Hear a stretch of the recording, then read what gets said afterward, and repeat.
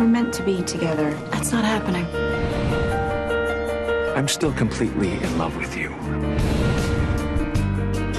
I'm have a few weeks, maybe less. I just want to hear how this is going to save my son. Guiding Light, weekdays, CBS Daytime.